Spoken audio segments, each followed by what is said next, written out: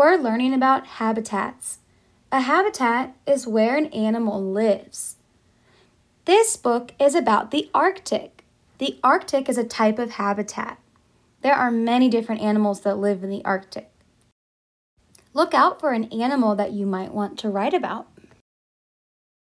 Some animals live in cold places. The Arctic is one of the coldest places on Earth.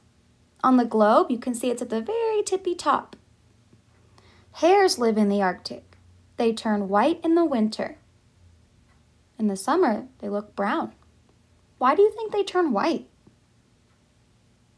Snowy owls live in the Arctic. They hunt in the day. What does it mean to hunt? What does it look like the owl's trying to get in that picture? Foxes live in the Arctic. They have thick fur. Wolves live in the Arctic. They hunt in packs. I see one, two, three wolves together. It's a pack.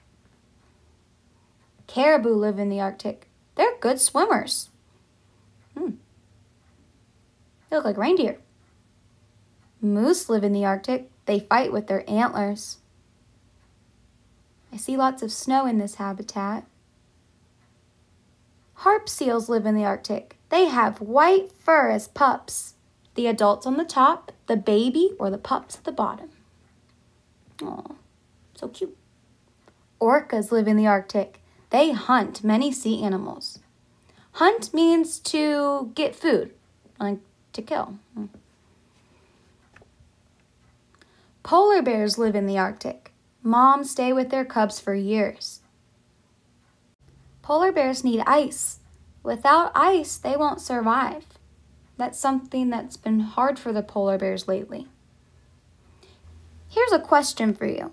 Why are many of the animals that live in the Arctic white? And why do so many have fur? I hope you found an animal that you'd want to research. If not, check out the Ocean Habitat book.